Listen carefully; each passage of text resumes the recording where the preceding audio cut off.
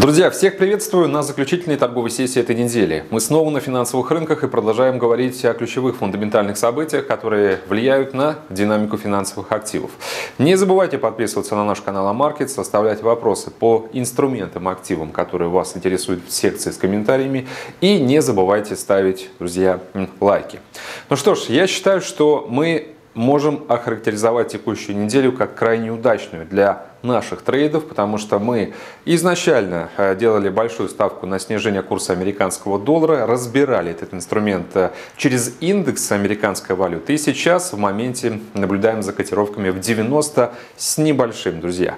То есть фактически индекс доллара сейчас топчется рядом с уровнем ну, практически э, психологической поддержки. Если мы э, этот уровень пробиваем, то, э, разумеется, открывается дорога для еще более глубокой э, коррекции и фундаментально оправданного снижения. Я думаю, что сегодня, наверное, на закрытии этой недели мы не будем э, повторяться касательно аргументов и причин, почему доллар нужно э, э, снижать. Очень рассчитываю на то, что вы внимательно следили за контентом всей этой недели, за всеми моими доводами касательно новых мер экономического стимулирования и воздействия этих стимулов на американскую валюту.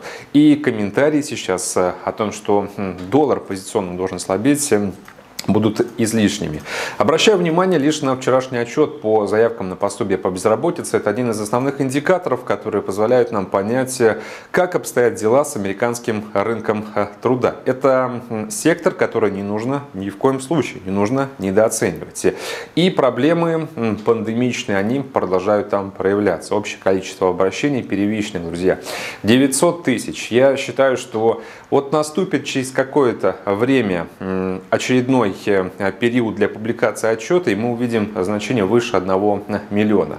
Э, я э, могу так говорить, потому что вижу, насколько плохо сейчас американская экономика справляется с последствиями ковида. Если бы, лишь повторюсь, что если бы власти США не были настолько заморочены и удручены, что ли, выборами, эм, которые мы уже оставили в истории вот в последнем квартале и согласовали бы меры экономической помощи в четвертом квартале 2020 года, то э, в первом квартале пошло бы уже то оздоровление, на которое можно было бы рассчитывать. Но сейчас эм, Квартал потерян.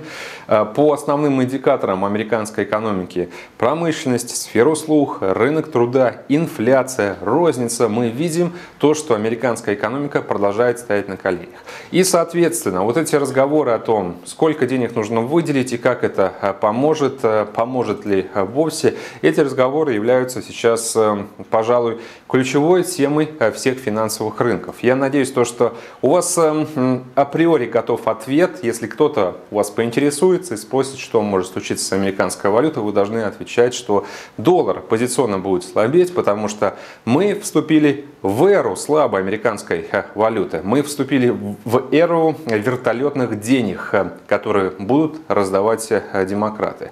Как заработать на политике Байдена, на демократическом курсе сверхагрессивного стимулирования, продажи доллара, покупка золота, всего рынка драгоценных металлов. По золоту золоту, кстати, тоже очень хорошо мы сходили в рамках эм, этой недели.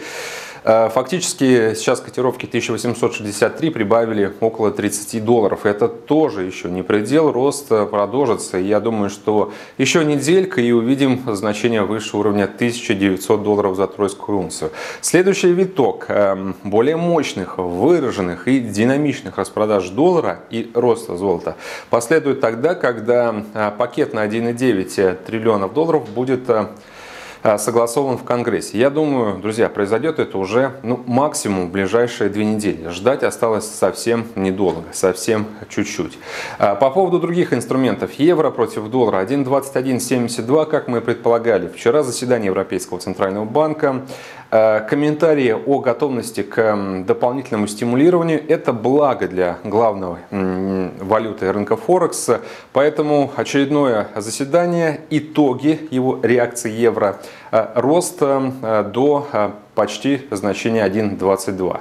То есть пока что э, история э, работает. Мы э, пытались накинуть прежние прецеденты реакции евро на мягкую риторику ЕЦБ в 2020 году на будущее заседание. Это вот до того, как вчера заседание состоялось. И оказались правы. Действительно, чем мягче сейчас звучит риторика ЕЦБ, тем больше шансов у евро восстановиться.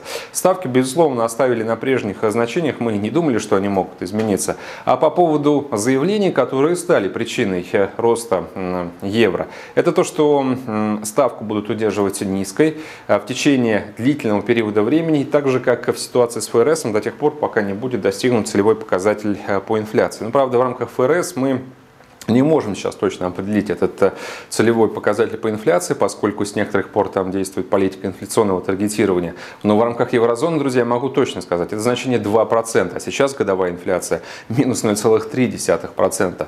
То есть э, даже при самом оптимистичном сценарии э, показателю инфляции удастся добраться до цели только лишь в перспективе нескольких э, лет. Ну и, конечно же, э, Кристин Лагард повторила, что готова при необходимости увеличить экстренные фонды э, финансовой помощи. И, скорее всего, это произойдет, потому что риски остаются нисходящими. На этом, собственно, евро воспрял духом, доллар в этот момент еще и снижался, придал дополнительное ускорение европейской валюте не только евро, но и прочему риску. Поэтому, друзья, мы завершаем эту неделю в очевидном восходящем тренде, точнее возобновлению роста этого дуэта финансовых активов. И я предлагаю еще раз задуматься о том, какой уровень может стать следующей остановкой для пары евро-доллар. Если вас интересуют цели инвестбанков, Сити после вчерашнего заседания ЦБ пересмотрели ориентиры с уровня 1.26 до отметки 1.30. И вы знаете, я разделяю такую позицию, считаю, что евро реально сможет добраться до таких э, значений. Фунт против доллара 1.3711. Фунт идет следом за э, прочими рисковыми инструментами, отрабатывая слабость доллара. Сегодня э, куча статистики по Британии. Посмотрим, как на нее отреагируют трейдеры. Ну и, соответственно, в понедельник попробуем еще раз оценить перспективы фунта уже с учетом новых статистических вводных, с учетом прошедших эм, выступлений э, руководства Банка Англии, которое посвящено также тому, что может произойти с монетарной политикой в условиях ковида.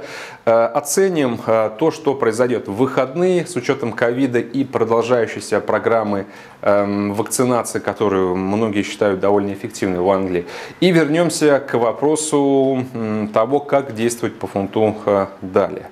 Но эту неделю, друзья, я завершаю вы наверняка знаете, по-прежнему с э, старым добрым э, трейдом, ну не очень добрым, но трейдом, который направлен на снижение все-таки британской валюты. Нефть 55.33, нефть топчется в коридоре 55, 56, 50. Я буквально э, несколько дней назад встал в лонг, только лишь поддавшись на общий рыночный позитив. Пока что из этой сделки выходить я не буду. Доллар канадец, друзья, сегодня растем 1.2670 и это нормально. С небольшим временным лагом мы увидели то, что должно было случиться с канадцем ранее, потому что на канадца ранее, два дня назад, должно было надавить заседание Банка Канады в ходе которого мы получили четкий сигнал а, того, что из-за а, ситуации с ковидом а, Банк Канады будет готов действовать, потенциально увеличивая программу количественного смягчения и даже снижая процентную ставку. Это первый нюанс. Мы помним данные по инфляции, которые являются лакмусовой бумажкой того, что розница остается крайне подавленной. То есть тогда, когда Банк Канады пересмотрел прогноз экономического роста до 4% в 2021 году, в середине 2020 года Банк Канады ожидал рост больше, чем на 6,5% в 2021 году. Сейчас посмотрите, насколько сильно оказались пересмотрены в негативную сторону ожидания по экономическому восстановлению. Но я могу сказать, что из-за тех слабых значений по инфляции, которые мы видим, скорее всего, темпы экономического роста будут еще а, хуже. Ну, потому что другого не дано. Если инфляция не растет, значит, а, нету эм, ожидаемых показателей восстановления розничных продаж. И эта тенденция, друзья, будет продолжена предложено.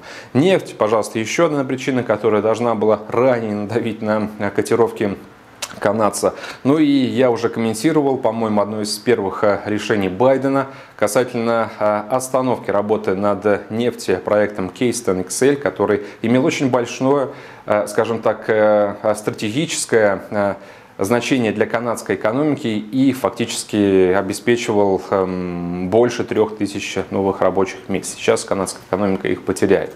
Очень рассчитываю на то, друзья, то, что канадец начнет адекватно э, интерпретировать, анализировать, реагировать на этот фон и покажет то ослабление, которое мы должны были видеть э, еще ранее. Цель 1.30 сохраняется.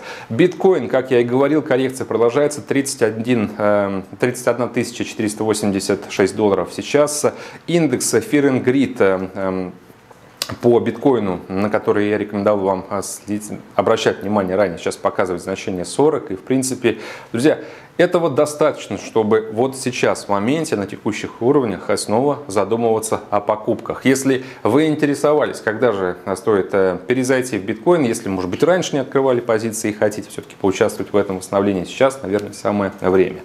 S&P 3835 пунктов, э, до 4000 остается все меньше и меньше, и мы точно доберемся до этого целевого значения. Может быть, друзья, даже до конца этого месяца. На этом, собственно, все. Хорошего вам закрытия недели и замечательных выходных. Всем пока.